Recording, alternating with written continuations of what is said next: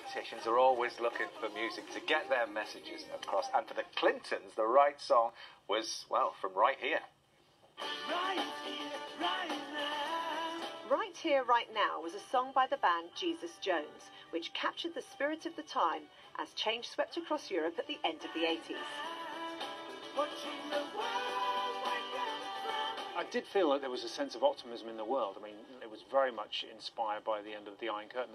I never imagined I would see the Berlin Wall come down in my lifetime, and it happened so quick. So it was a fascinating time to be alive. Despite being written here in London, its positive message was picked up by American Democrats, who used the song as a rallying cry in two US elections. As a band, Jesus Jones took many of their influences from American street culture, on which they put their own UK spin, including the fashion. Iain was one of the first band members in the history of rock music to be employed because of his shoes. Yeah. I was, I was in a pub nearby and happened to look at the floor at one moment. I saw a pair of shoes that could only have been worn by a skater. But back then, it was it was like a sort of a, a, a visible badge to uh, a membership of a secret society.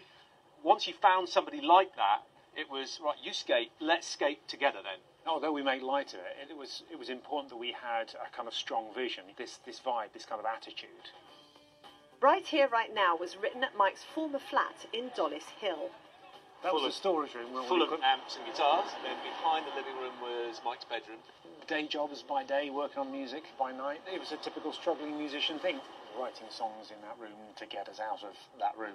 You know, that, that was the key thing for me.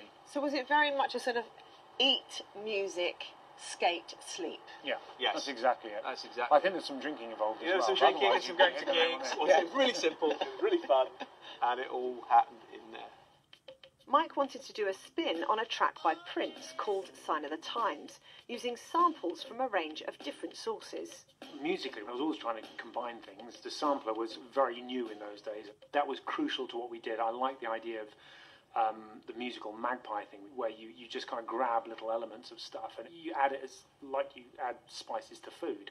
I had a demonstration disc that came with a sample. It had a really good brass sample, so I thought I'd better use that because it's anything that sounds any good. Iain's brought along one of the earliest versions of the track, which Mike hasn't heard for over 20 years. Guitar's a bit different.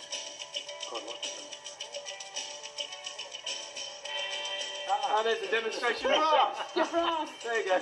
It sounds joyful. How, how did you capture that? God knows, because that's not me, is it? brass is always quite. It's brash. It's it's kind of ta-da! Here I am. There's something about that that works and that lifts the song. Here in the UK, Right Here, Right Now only reached number 31 in the charts, but it was a huge hit in America, helped by some high profile fans. That some sort of request was sent through to say, look, just to let you know, Bill Clinton is thinking about using this song. But then Hillary came back and said, oh, can I use it? You think, have, have they got any other CDs in the car, the Clintons? In the current political climate, how do you think this song fits now? the song couldn't have been written within the last year or so. Whether it's Donald Trump, whether it's Brexit, whether it's climate change, I think that the response now would be like, "Have you read a newspaper?" Mm-hmm. But the band still love playing the song live, and today Mike's giving us a special performance back at the skate park where the band used to meet. I saw the decade in when it seemed the world could change the blink of an eye.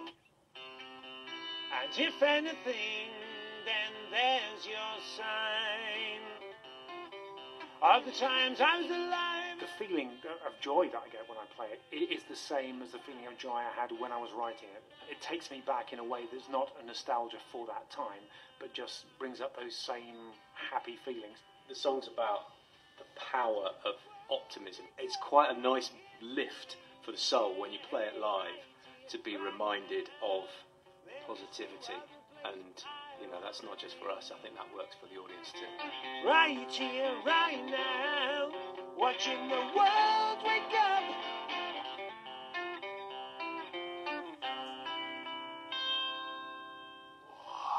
Never too old to skate.